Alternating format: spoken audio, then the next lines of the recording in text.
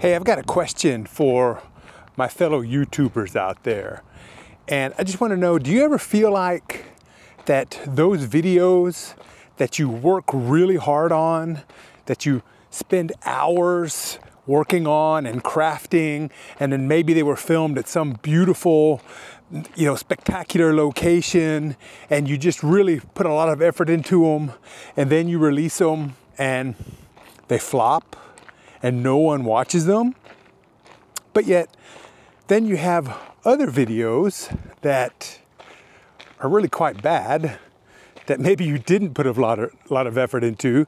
And I'm talking videos where, you know, you, you just filmed it on your cell phone and the audio is terrible and it's shaky and bouncing around. And then you release it out there and it just, boom, it catches on fire and thousands of people watch it. Have you ever experienced that? Well, I have, trust me. And today I want to talk about that a little bit, about how that's happened for us on our channel, and maybe share some some of our biggest mistakes that we feel like we've made on our channel. So, if you're new here, if you don't know me, I'm Lee from Traveling Expats, and Betty is behind the scenes. She actually does all the work. Um, so Betty's behind the scenes. She's a little shy. Maybe doesn't want to be on camera, but uh, yeah. And so we're a couple of, you know, I guess Gen Xers is our category.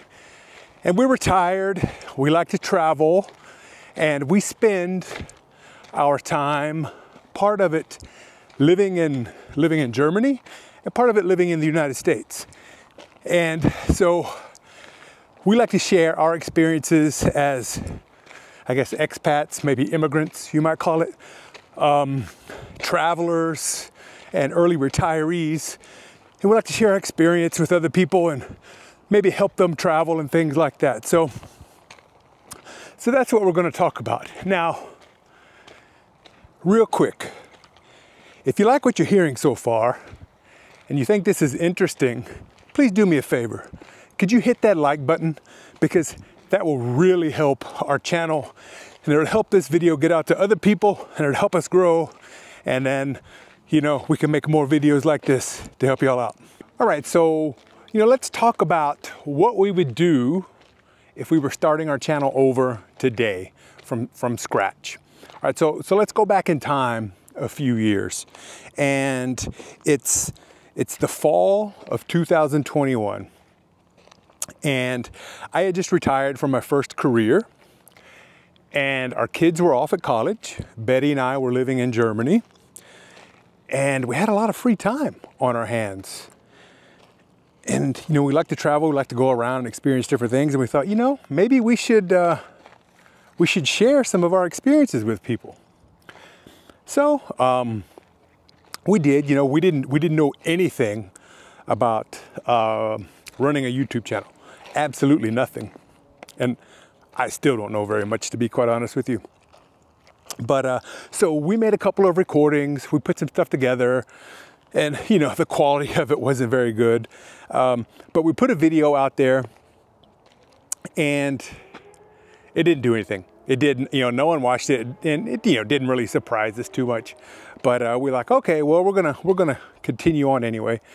And uh, so we made a couple of couple of other videos, and you know, here comes some of that. Um, I guess inexperience to be to having a YouTube channel. So we had two videos and we were trying to schedule them for release. You know, we didn't want to schedule them right at the same time, but lo and behold, that's exactly what we did. So we released both of these videos on exactly the same day. And, you know, we just, we put them out there and then we didn't even look at YouTube again for a couple weeks. The same day. And, you know, we went on about our lives and we didn't even look at our YouTube channel for a couple weeks, I think, because we really didn't, you know, we certainly didn't expect anything to really happen. Um, but then a couple weeks later, you know, we, we opened up YouTube and lo and behold, one of those videos had tens of thousands of views, had, you know, tons of comments, likes, and it really took off. So we thought, wow, if this video can be successful, then we better make more. So we went out and we put out like seven more videos over the next two months. And all of them, except one, all of them were really pretty successful. I, you know, I thought. And, um, you know, they all got thousands of views, lots of likes, lots of comments, and things of that, things like that. So I thought, hey man, this YouTube stuff is all right. And now these were not good videos. And if you'd like to see what I'm talking about, we'll link one up here and you can see you can see our most successful early video and you tell me what you think. Now this video is so bad. Uh, basically what it was, I was walking through the forest and the fields around my house in Germany with my dog and I was just basically talking about life in Germany and kind of comparing some things between life in Germany and life in the United States. Um, the video was terrible. It was very shaky. I held my cell phone the wrong way, so we couldn't even use a lot of the video. So basically the video is a little over five minutes long and it's a lot of the same film just going over and over, just being uh, replayed over and over again. But this video got so much interest. People were watching it and it went off like crazy. And then, so like I said, all the other videos we released, they were pretty successful too. Not as successful as that one, but they were, they were what I would consider, what I considered back then to be very successful. And then, you know, life goes on. So um, I started my short-lived second career. So I got busy, I was working again. And then the kids came home for Christmas, so we had the excitement of spending time uh, with our daughters who came home from, from university. They were in Germany, and we just got busy. And then after the holidays, uh, Betty went back to the United States to spend some time with our girls and, and with other family. And we just kind of forgot about being YouTubers. So our channel went completely dormant for two years. Nothing, nothing for two years. And then life goes on. And two years later, we're working, we're both working, and we kind of start crunching our finances. And we realize, we start to thinking, you know, we've, uh, you know, I, I, have a, I have a pension coming in from my first career, and we've managed our money wisely. We've invested, we've saved, we've lived pretty frugally, and we don't need to work. You know, so so why why are we working? I mean, it, it's you know, I had a good job, but it's not like I got tons of joy out of it, to be quite honest with you. So um, yeah, both of us we just we resigned our positions and uh, we became full-time retirees. And then we thought, well, you know what? Now we've got plenty of time and let's go back to being YouTubers. So we've got experience, we've got more time, we can do this. We were successful before, so we'll be super successful now, right? Wrong. It didn't work that way. Um, and, and our videos were, are, in my opinion, so much better now than they were then. We learn something every time. We've got some more equipment, we've got some better equipment, and our videos are just better put together. You know, we of course we know what we're doing, but the response just I mean, it hasn't been there. I mean, slowly it's been growing, and some of our videos do okay. Some of them are pretty successful, uh, but a lot of them just, I mean, nothing. Maybe they sit there uh, for months and hardly anyone ever watches them. So why is that? Why is, is it that, that these good videos just, um, they don't get any views. No one watches them. No one comments them, comments on them. And, you know, you just seem like it was, it's kind of a little hurtful, you know, because you feel like you put so much time and effort into something and uh, no one else appreciates it. All right, so so what happened? How did we lose the magic? You know, um, how come the videos in the second go around just you know weren't as successful as the videos in the in the first go around? You know, we thought it was going to be super easy, right? And so a couple theories. Number one, I've often wondered, um, you know, was YouTube, you know, really pushing our stuff out in the beginning And then when we stopped and came back, YouTube said, well, we're not going to help you anymore. So then they've, they stopped pushing our stuff out. So I've wondered that. I don't really think that's true. I don't think that's what happened. But, um, you know, there's a couple of things that, uh, that I do think have played a role. So, you know, when we first put our videos out, we, um, we had a pretty defined niche, right? So we were um, retired Americans living in Germany, traveling through Germany, sharing uh, the, um, the experience of being a, uh, a foreigner or an expat, uh, whatever you call it, living in Germany. We were sharing that experience and comparing, you know, culture shocks between living in America and living in Germany. And you know, I think people enjoyed that. I think people found that interesting. And, you know, not only Americans, but I think a lot of Germans found that interesting as well. And, you know, and we were traveling a lot, mostly in Germany to, you know, small villages, going to uh, Christmas markets and things like that. And I think people really enjoyed that as well. So when we came back um, and, and put our, and put our um, videos out the second time around, we were no longer living full time in Germany. Uh, we were you know, part-time in Germany and then other parts of Europe and back in the United States. And so I think we just kind of lost our defined niche, if you will. And so, you know, the YouTube algorithm, which I don't understand 100% for sure, I think it really didn't know who to push our videos to, right? Do you, uh, you know, is it supposed to push our videos to uh, to uh, Americans living in other countries? Is it supposed to push it out to people who want to go to travel to places? I think there's just a lot of confusion. So I think we've kind of struggled to build our niche back, and I think that's why we've struggled to get views.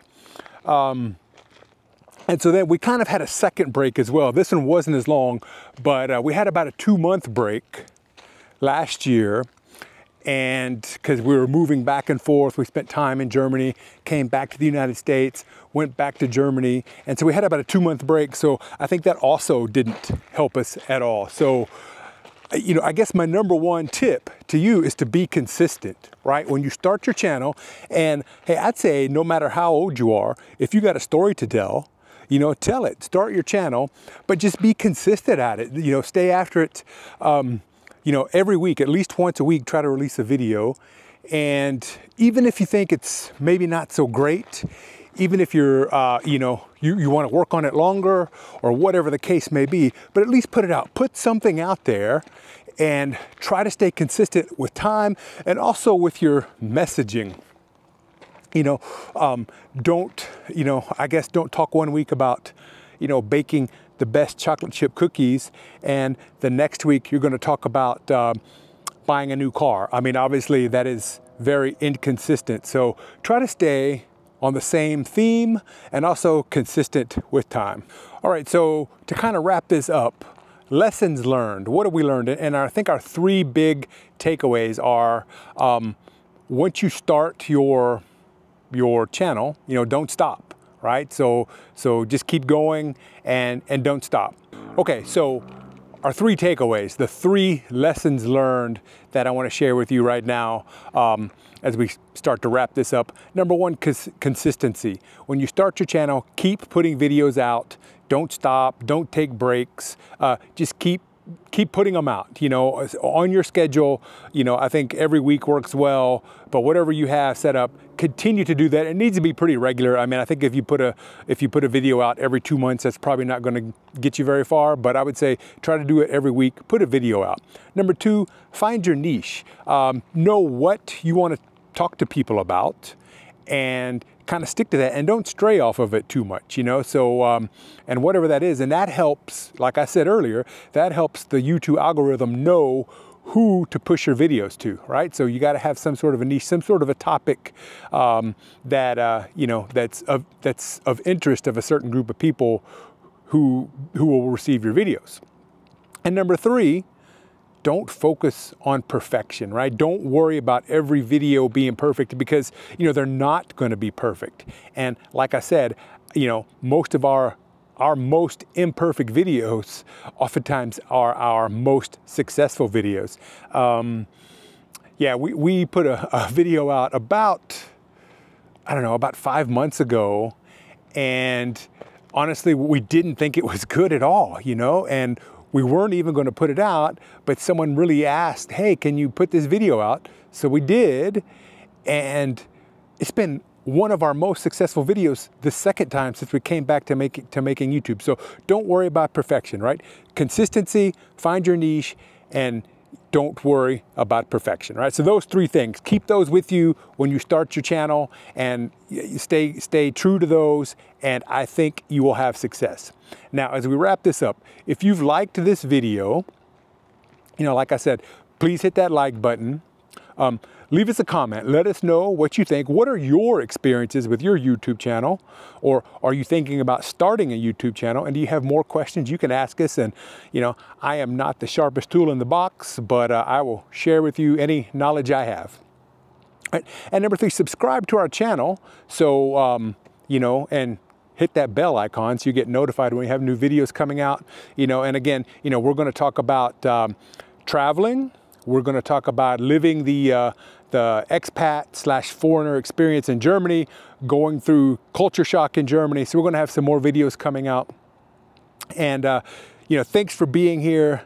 Thanks for watching me. And if you want to see our most successful video that is not very good, we're going to put that up here so you can click on that and watch that video and then let us know what you think about that. Like, hey Lee, you're right, that video sucked. It was terrible. Why on earth would anyone watch that? Or maybe say, you know, that was, um, it was honest, it was from the heart what you were saying, and I can understand why people would like it. So just let us know what you think. So thanks for watching, thanks for joining in, and uh, check in next week and see what we have in store for you. Bye.